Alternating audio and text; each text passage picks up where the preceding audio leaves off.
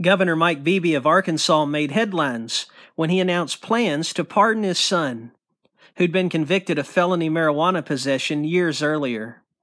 Some agreed with the governor, while others criticized him. But what stuck out to me was his comment to a Little Rock television station.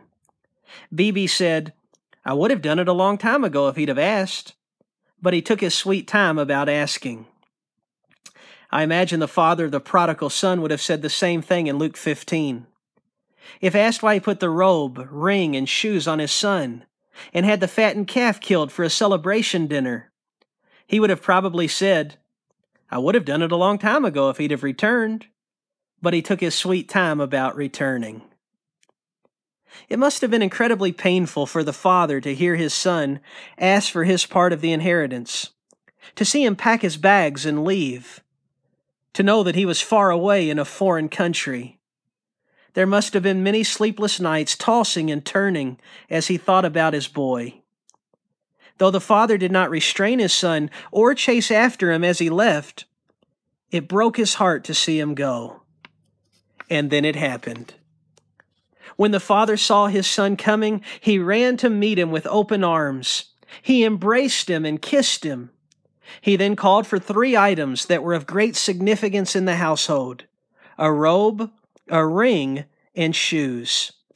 Servants didn't wear these things, sons did. They were privileged possessions for privileged people.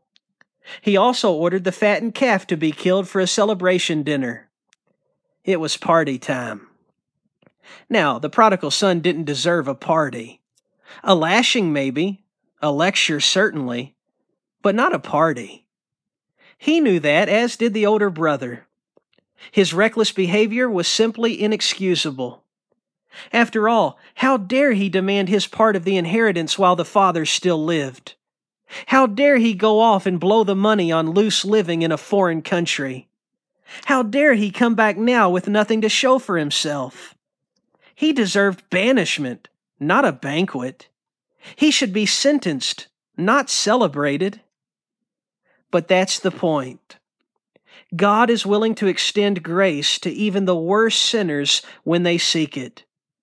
It's not based on their merit, but on His mercy.